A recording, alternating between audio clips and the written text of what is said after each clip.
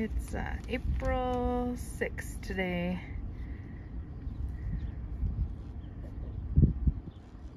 All our snow melted today. I noticed this girl calving at about 4 o'clock this afternoon and I sat here long enough to see one foot and then that was it. Oh, you sit here long enough, you see something. I just saw two feet. We're good. We're good, right? We haven't had a mud season here in southern Alberta for I can't tell you how long. All of our, well, a lot of our friends down south though get mud season every year. We've got new customers in the barn, two heifers actually. So got them in just before dark. This one here has been calving for long enough that we need to see what's going on. And uh, this one here is gonna calve. We got a big old cow out in the field calving, so I'm glad the weather has straightened out a little. Um, it's not perfect, but it's not splatting wet snow anymore. This red one's not happy about being in the barn. And uh, anyway, she's calving. I give her some hay in the corner there hopefully distract her because she's been charging at this gate and these this these ones here aren't meant for that. I'm trying to move this pair across uh, this was the super grumpy cow that climbed in the back of the truck with Glenn yesterday. And uh, she's tried to come through my driver's window here twice now so we just need to get them the heck out of the way. She's got to go somewhere where we aren't going to be around like blind rage yesterday. Thought she killed her calf. This is the uh, cow that had the calf that I pulled while Glenn was down and out.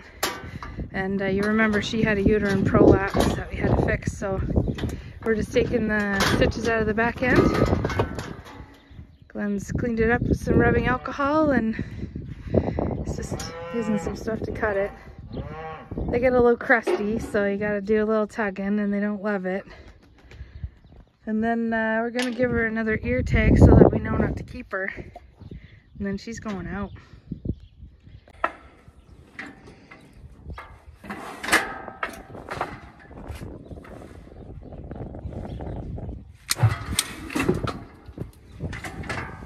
We just moved seven pairs out from the corral and there are at least three different groups of cows that they're fighting right now. Bunch of knotheads. Just keep your calves out of it, ladies. So this is our newest bottle baby. We're uh, letting him and his mom out today, but we'll have to separate them twice a day to feed him because she doesn't have any milk. She's our wildest cow that's been in the barn yet. So I'm in a pen away from her baby. However, that doesn't mean that she's not gonna come and take this fence. So I'm gonna keep my eyes open here.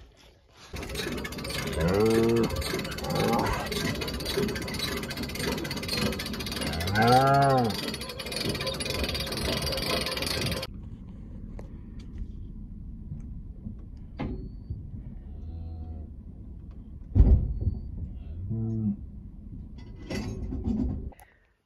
Sunday, April 7th. It's 10 p.m. There's nobody in the barn. Now I should probably knock on wood. We're getting ready to uh, start pumping water from that dugout where the calf was in last week's video. It'll just save our house well having to run water for the cows and calves every day.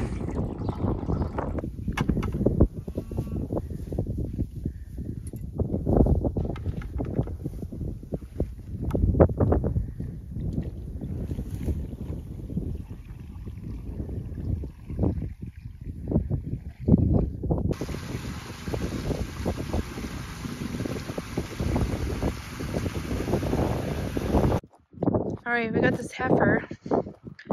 She uh, has had two water bags. So we saw uh, Fultz water bag. Just got a real water bag. And so we're gonna put her in. It's pretty nice out, but it's dark and it's a heifer. So we're gonna put her in just to make sure that uh, she's gonna be okay. And it's infinitely harder after dark. So anyway, Fult's water bag is pretty interesting. Don't see that very often. All right, I'm gonna call for uh, canoe support here to close this gate behind her. See in a bit. The way the cows moo the baby sometimes it reminds me of being in trouble. I mean, wait, what? I was never in trouble when I was little. Ah, it's so nice to let them out. Glenn did a rough count this morning. I think we only have about around, around 35 left out there to calve. Hopefully it stays just like this. See this? I mean, it could rain. Yeah, we'd love some rain. It's our hospital pen crew. We opened up the back for them again.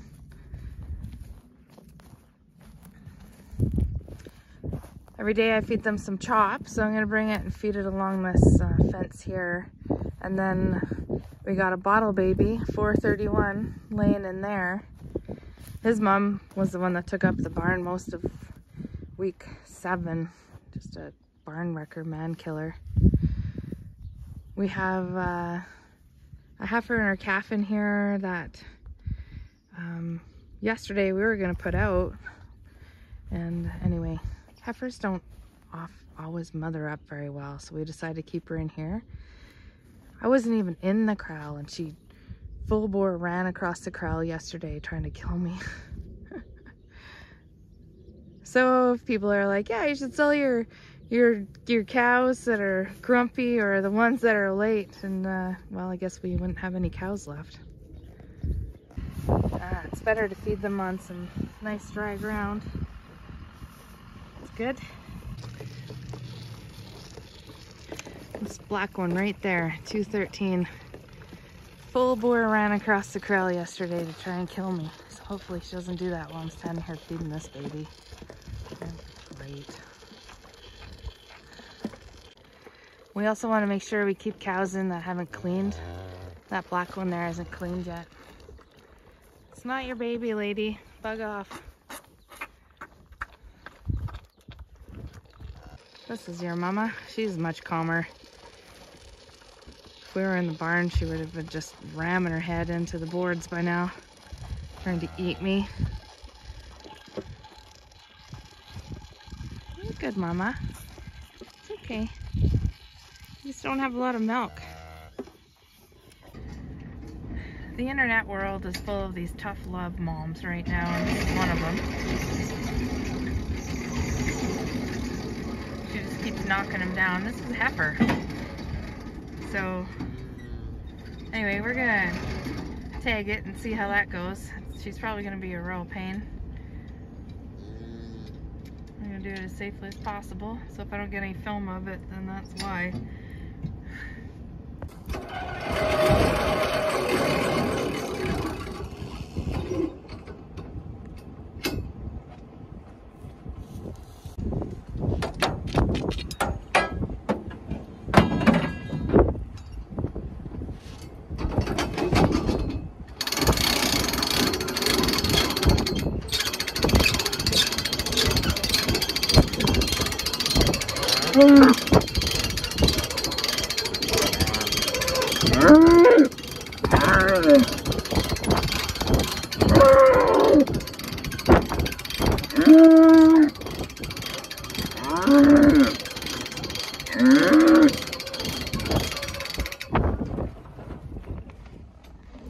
Oh, that went better than I thought. She's all bark and don't bite. She's looking for it. It's in the back of the truck. Heifers, you can have a major problem with heifers if you tag their calves too soon. But uh, this calf, we needed to get it tagged because it was going to be a running concern here pretty soon. We'll drive over to her and drop it off. I was at the dentist. Glenn brought this heifer in and pulled this calf yesterday. He said it was a really hard pull. And so we're just giving it a couple of shots of colostrum. This is a super good mom.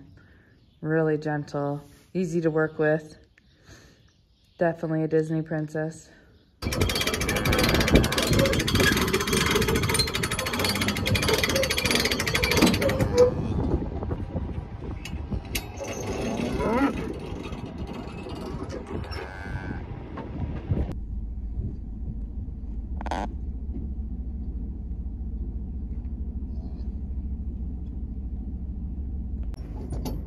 Two are like cousins that don't need to hang out with each other.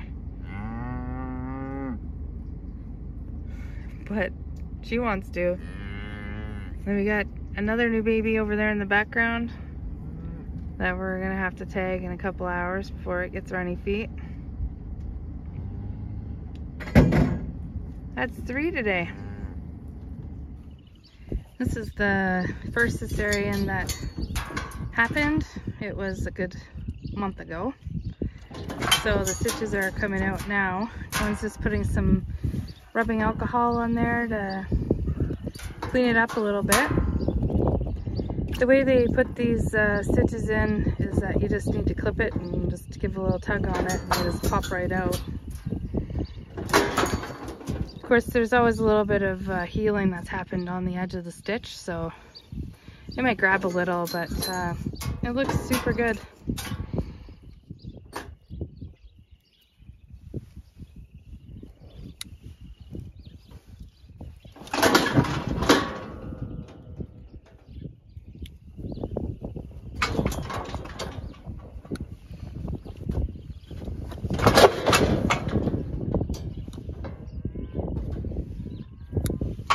It's not like when you go back to the doctor and you sit super still while he takes your stitches out.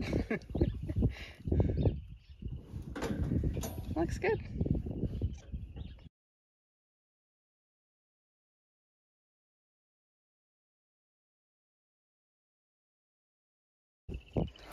Current protocol here in Alberta says that you should let the cows clean on their own, but Glenn's just gonna go in and gently see what's going on there.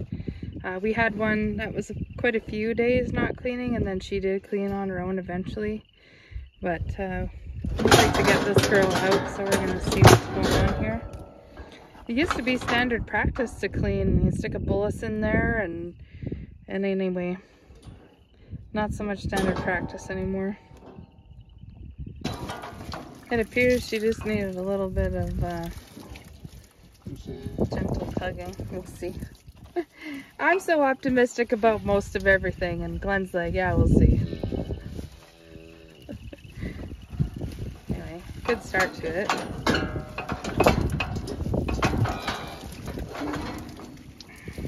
This doesn't even smell too bad. There it comes. Sorry if that's kind of gross for you guys, but that was actually, it wasn't really stuck on there at all, so.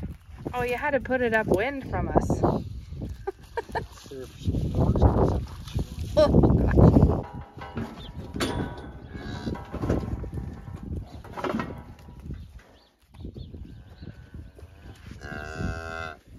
Okay, let these guys catch up with each other, and then we got three pairs to put out.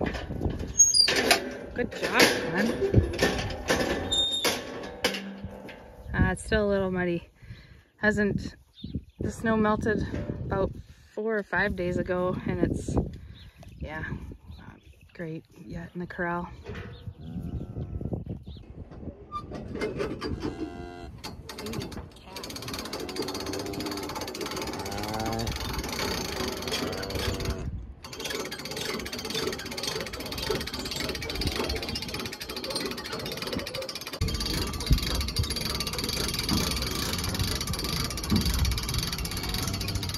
Great news. Came into the barn after chores. We need to get him started on his mom. We knew that we could get him up, but he needed help. He's still wobbly, but uh, yeah, it's always good news when your calf's up. We're gonna, mom's just across the way over there. We're gonna get her put into the maternity pen so that we can use the bottom portion of it to get him milking. Glenn's gonna we're gonna do a review on this uh, maternity pen, this tough maternity pen, sometime here in April. So stay tuned for that.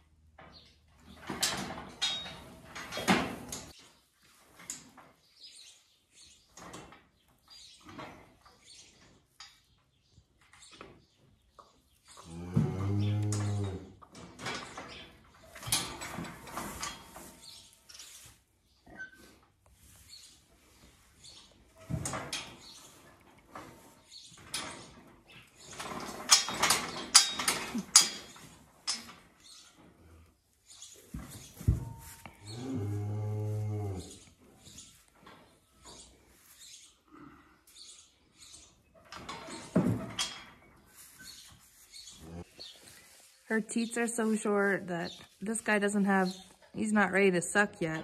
And without that natural instinct, those guys would be hard to get in your mouth for sure. See his eyes? He's like, hello? Nobody's home.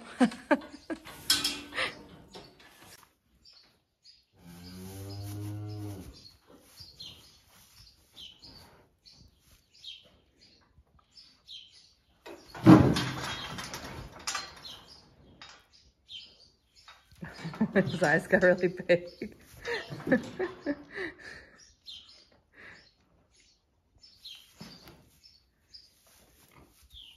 Just gotta get their suckers working.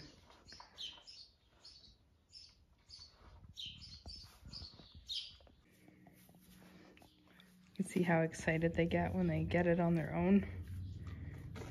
It's just manic now. He's like, oh yeah, I got this.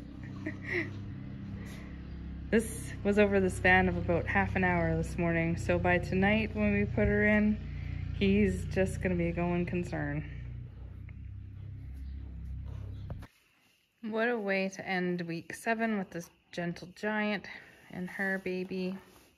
Just trying to get them going together.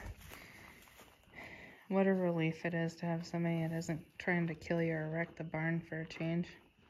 Thanks for watching, everybody. Take care.